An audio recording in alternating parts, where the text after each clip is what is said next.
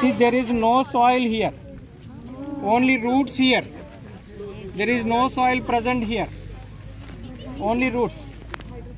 So we give only water, no soil in this.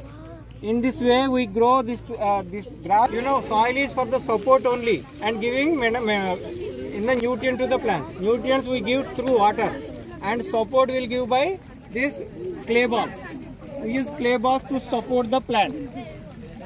Okay, using this way, except the rooty vegetables, we can grow any kind of plants here. This is aeroponics.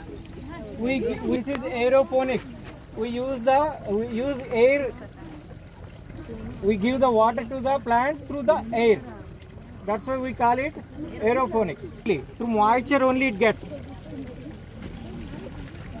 Okay, this is aquaponics. అంటే ఇందాక చెప్పారు నీళ్ళు ఉంటే cup వస్తుంది cup ఉంటే పావు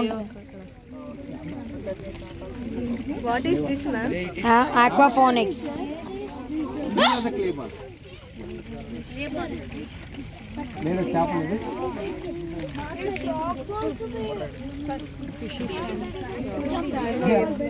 they are hiding